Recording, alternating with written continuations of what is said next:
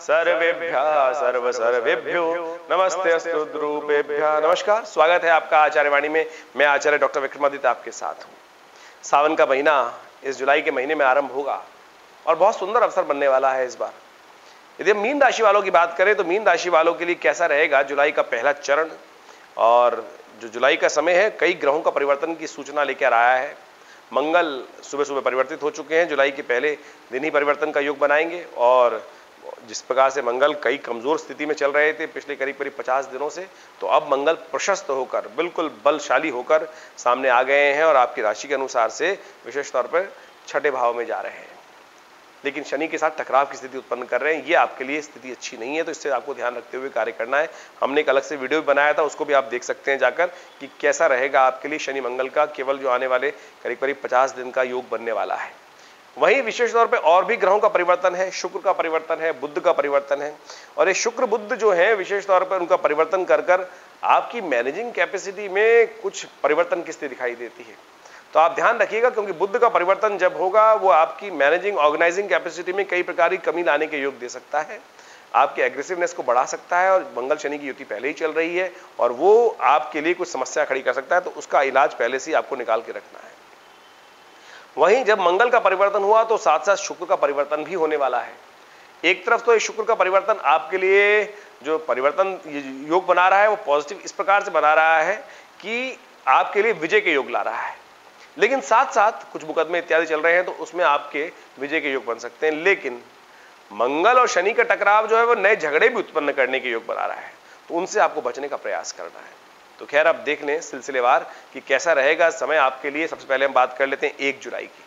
तो एक जुलाई को पंचांग के अनुसार से समझ लें क्या पंचांग कह रहा है। एक जुलाई को विशेष तौर पर पंचांग की स्थिति ऐसी है कि शनिवार का अवसर है, त्रयोदशी तिथि है और वृश्चिक में चल रहे हैं चंद्रमा और शनि प्रदोष का योग बना हुआ है। साथ साथ मंगल सिंह में आ गए हैं। यह ग्रहों की स्थिति विशेष तौर पर दिखाती है कि आपकी राशि के अनुसार से आपके लिए समय अनुकूल है और आपको केवल अपने आप को शांत रखते हुए, अपने कार्यों में अपने आप को संलिप्त करने का प्रयास करना है। और हमें दिखाई देता है कि आपकी सरलता से ही आपकी जो विशेष तौर पर लाभ की स्थिति बनेगी। लेकिन इस बात का ध्यान रखिए, कोई सरलता का आपका नाजायज फ़ायदा ना उठा ले। कई बार व्यक्ति क्या होता है, झगड़े से बचने के लिए बहुत ज़्यादा सरल बनने का, थोड़ा कमज़ोर रहने का प्रयास कर सकता है। क्योंकि मंगल जिस प्रकार की स्थिति गया है कि लोग आपको कमज़ोर भी समझ सकते हैं। तो नहीं, उसके लिए भी आपको थोड़ा ध्यान रखते हुए कार्य करने की ज़रूरत है।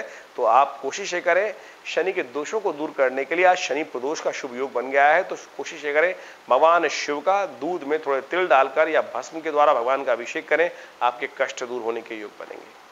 साथ साथ आप कोशिश करें, आज की शुभ तिथि में कुछ दान पुण्य करने का प्रयास करें, आपके ग्रहों के अनुसार से आज दूध का दान भी आपके लिए बड़ा शिष्ट रहेगा। दो जुलाई की यदि हम बात करें तो उस दिन रविवार का अवसर है, चतुर्दशी तिथि है, सत्यनारायण जी का व्रत उसी दिन किया जाएगा क्योंकि शाम को पूर्णिमा का योग बन जाएगा। साथ साथ एक बात का और ध्यान रखें, जो जातक आज जन्म लेंगे, विशेष तौर पर दो जुलाई को, उनके लिए इस बात का ध्यान रखना ज़रूरी है कि गंडमूल नक्षत्र ज्येष्ठा उस दिन विद्यमान है तो उनकी मूल शांति अवश्य कराने का प्रयास करना चाहिए। घर वालों को अन्यथा वो जातक अपने घर के लिए, परिवार के लिए, स्वयं के लिए माता पिता के लिए भारी होगा। सत्यनारायण व्रत भी है तो कोशिश करें, भगवान का स्तवन भी करें, पूजन करें, आपके लिए स्थिति अच्छी रहेगी। चंद्रमा का जो परिवर्तन आपके लिए होने जा रहा है, वो आपके लिए अच्छा है, शुभ है। आपके कार्यों की विशेष तौर पर प्रशंसा होने के योग बनते दिखाई दे रहे हैं। आपके लिए शुभ स्थिति है, आपके लिए आगे बढ़ने की स्थिति बनती दिखाई दे रही है। तीन जुलाई को ग्रहों की गणना विशेष तौर पर दिखाती है कि सोमवार का अवसर पूर्णिमा, व्यास पूर्णिमा की तिथि है, आषाढ़ मास की पूर्णिमा की तिथि है, और ये विशेष तौर पर बड़ी शुभ तिथि मानी जाती है, सोमवार का अवसर। वैसे तो सावन का स्थिति इसी दिन से आरंभ हो जाती है, लेकिन अगले दिन शुभ तिथि मिल रही है तो उस दिन से आरंभ होगा। तो ऐसे में गुरुजन का पूजन करके दिन का आरंभ करने का आपको प्रयास करना चाहिए। ग्रहों की स्थिति दिखाती है कि समय आपके अनुकूल बना हुआ है, प्रशस्त आपका वातावरण रहेगा और एक बात का ध्यान रखना है। शनि महाराज ग्यारहवें भाव में बारहवें भाव में वक्री होकर चल रहे हैं। और मंगल का पदार्पण जिस प्रकार से षष्ठ भाव में हुआ है, ये आपके परिवार के लिए कुछ कष्ट का योग बनाता है। विशेष तौर पर ननिहाल की स्थिति में अपने परिवार के साथ, रिश्तेदारों के साथ अपने संबंधों को आपको ठीक रखने का प्रयास करना चाहिए। छोटी छोटी बातों में कुछ अननेसेसरी क्लैशेस आपको परेशान कर सकते हैं तो इस बात का ध्यान रखते हुए कार्य करेंगे तो बहुत शुभ होगा। हम बात कर लेते हैं चार जुलाई की। चार जुलाई को मंगलवार का अवसर है और शुभ तिथि है बहुत। उस दिन सावन का महीना आरंभ हो रहा है। सावन भगवान शिव को प्रसन्न करने का महीना होता है। जब भगवान शिव विष्णु जो है शेषैया में चले जाते हैं विश्राम करने के लिए तो शिव समस्त संसार का आधिपत्य संभालते हैं भगवान शिव भगवान विष्णु की जो शेषैया में जब विश्राम करने की स्थिति में। तो ऐसे में भगवान भोलेनाथ को प्रसिद्ध करने का सबसे बढ़िया शुभ अवसर सावन का महीना और इस बार तो ग्रह गणना ऐसी बनी हुई है कि सावन का महीना 30 नहीं 60 दिन का हो गया है। दो महीने के आसपास का सावन का महीना चल रहा है। तो हमने इस शुभ तिथि का, इस शुभ समय का लाभ लेने के लिए विवेकानंद योगाश्रम में 60 दिवस का रुद्राभिषेक रखा है, जो हर रोज प्रदोष काल में किया जाएगा। आप भी उसमें सम्मिलित हो सकते हैं। जो आसपास हैं, वो शाम को छः बजे से लेकर आठ बजे के बीच में उस रुद्राभिषेक में भाग लेने के लिए बिल्कुल अवश्य आए, कल्याणकारी योग बनेंगे। और जो लोग दूर रहते हैं, उनके लिए हमने व्यवस्था बनाई है। तो हमारे जो नंबर स्क्रीन पर चल रहे हैं, उन पर आप अपने स्थान को आरक्षित कर सकते हैं। विद्वान ब्राह्मणों के द्वारा, अपने प्रतिनिधित्व के रूप में उनके द्वारा अभिषेक करवाकर आप इस सावन के महीने में लाभ ले सकते हैं। इस संपूर्ण कार्यक्रमों को विशेष तौर पर हमारे फेसबुक पर और हमारे चैनल पर लाभ, लाइव भी किया जाएगा। आप उसका लाभ ले, कल्याणकारी योग बनेंगे। ग्रह गणना बात करें तो मंगलवार के दिन विशेष तौर पर एक जुलाई के दिन ग्रहों का परिवर्तन होने जा रहा है और यह परिवर्तन विशेष तौर पर आपके लिए जो दिखाई देता है, लाभ की स्थिति उत्पन्न करेगा। और साथ साथ ग्रहों का परिवर्तन आपके लिए पॉजिटिव चेंजेस लाने के योग बनाएगा। तो आपको अपने अंदर पॉजिटिव चेंजेस आए, उनको, उनसे विशेष तौर पर लाभ लेने की स्थिति उत्पन्न करनी चाहिए, आगे बढ़ने का प्रयास करना चाहिए। पाँच जुलाई को ग्रह गणना विशेष तौर पर दिखा रही है कि बुधवार का अवसर द्वितीय तिथि और इस दिन द्वितीय तिथि विशेष तौर पर जो ग्रहों का योगा योग बना रही है उस दिन ग्रहों की गणना के अनुसार से भद्रा की स्थिति बन जाएगी रात्रि में।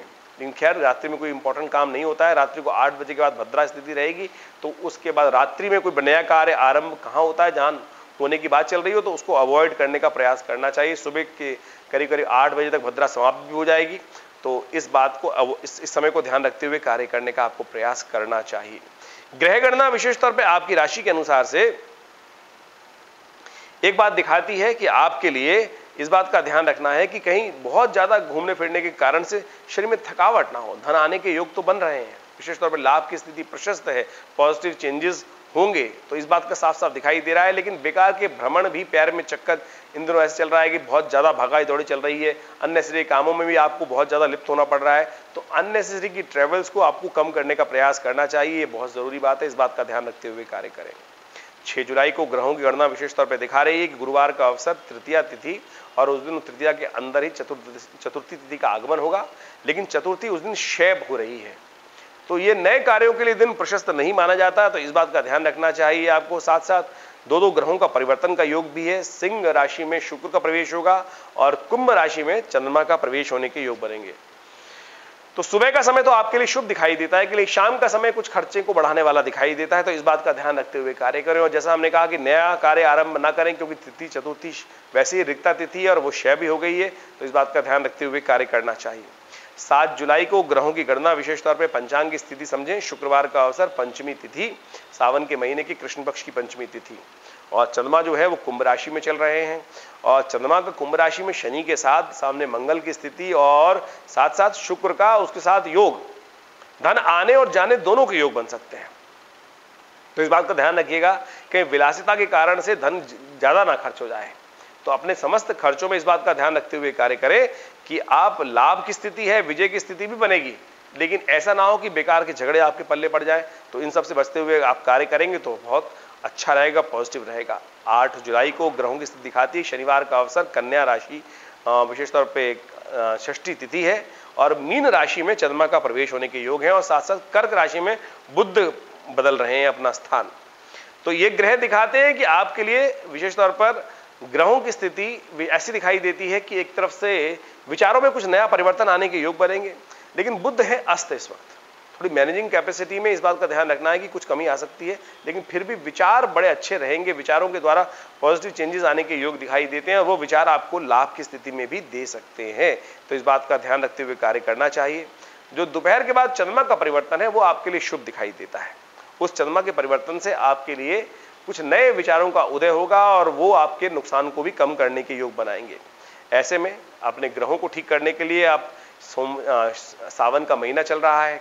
तो ऐसे में थोड़ा पानी के अंदर, गंगा जल के अंदर जल लेकर जल जल लें और उसके अंदर थोड़ा तिल डालकर ओम नमः शिवाय का जप करते हुए भगवान शिव का सुबह सुबह अभिषेक करें। शनि भी आपके अनुकूल हो जाएँगे। शनि को अनुकूल करना इस वक्त बहुत ज़रूरी है। एकादश में द्वादश में भाव में शनि महाराज आपकी राशि में चल रहे हैं। और एक द्वादशवा भाव जो है, विशेषतः बारहवां भाव जो है, वो खर्चे का भाव है। शनि स्व, स्वग्रही होकर चल रहे हैं तो इस बात का ध्यान रखना चाहिए।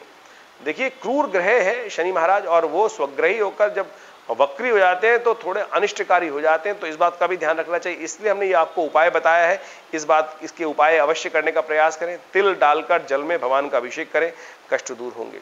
9 जुलाई को ग्रहों की गणना दिखाती है कि रविवार का असर सप्तमी तिथि, उसके उपरांत अष्टमी तिथि का आगमन, कालाष्टमी का शुभ योग। देखिए, सावन का महीना चल रहा है। सावन के महीने में अष्टमी जो है, वो विशेष तौर पर कृष्ण पक्ष की जो अष्टमी होती है, शिव से बहुत बढ़िया संबंध रखती है।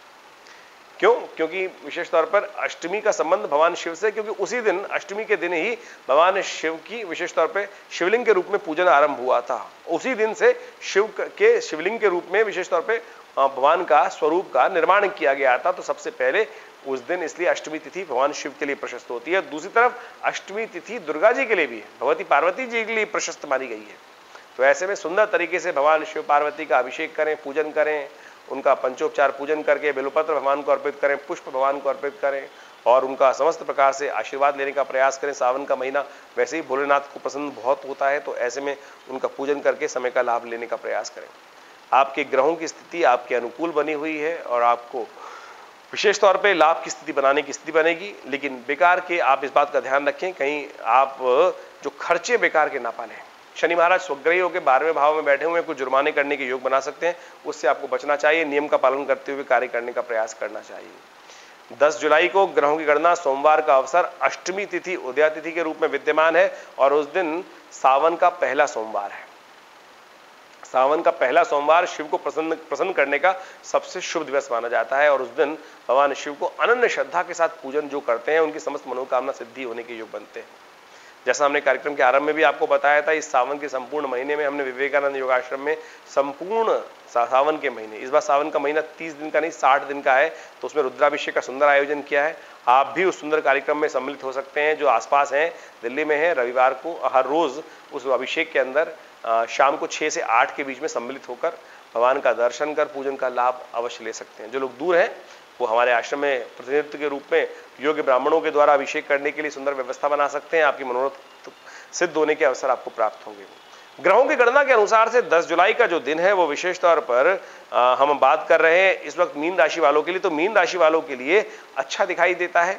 आपके लिए शुभ योग बनाता दिखाई दे रहा है लेकिन आपको अपने खर्चों को थोड़ा बैलेंस करते हुए कार्य करने की ज़रूरत है और परिवार में शांति बनाए रखने की ज़रूरत है। परिवार में कुछ रिश्तेदारों के साथ अनबन होने के योग दिखाई देते हैं मुकदमों में विजय होने के योग तो प्रबल रूप से बने हुए हैं, लेकिन फिर भी किसी गलत तरफ़ जाने से आपको बचने का प्रयास करना चाहिए। इन समस्त बातों का ध्यान रखते हुए यदि कार्य करेंगे तो आपके लिए शुभ होगा। नमस्कार।